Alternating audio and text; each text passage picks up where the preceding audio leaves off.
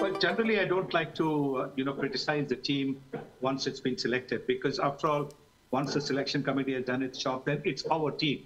Whether, whether you know, I mean, all, all, all Indians, it's our team, and we go to back it. But I do, uh, what you said, I do believe that uh, the uh, uh, there was a very good chance to try and look at the next rung of cricketers.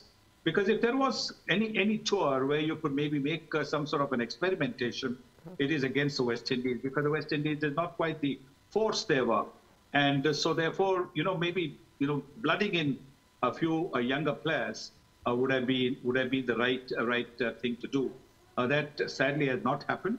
But more than that, for me, you know, the World Test Championship is gone. We, we missed out over there.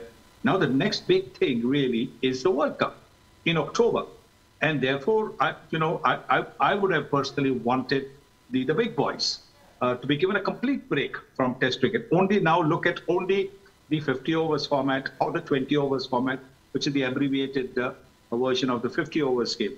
But I would have wanted them only to look at the white ball, not to look at the red ball at all. Because after this, there's only going to be white ball, white ball, white ball cricket to the best of my knowledge about what the schedule is. And that was the, that was the best way to go.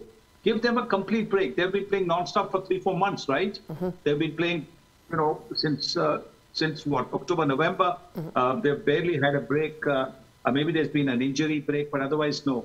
So give them a complete break is what I thought from from red ball cricket. Uh, the big boys, the certainties, the certainties would would have been certain to play in the World Cup. You know, you've given Shami a break, uh, you know, that kind of thing. So you should have. I, I would have thought that if they'd given everybody a break and blooded a few more younger players, that could have done Indian cricket uh, a world of good.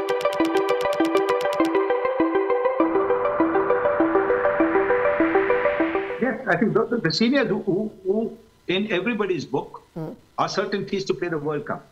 So give them a break. Give them a complete break. Look, they've, they, they've finished on the 12th of uh, June. Yes. Give them a break till the 20, 25th of July. Complete break. So, you know, I mean, no test matches either. No traveling either. Now, apparently, this team is going to go, uh, you know, for warm-up matches, etc., on the 1st or 2nd of July. So they've had what? They've barely had, you know, 20-day, uh, 20-day break. Why not give them a 40-day break? This is what I was thinking. Give them a complete 40-day break so they come back for the one day and the white ball format totally fresh. They come back for the new season totally fresh.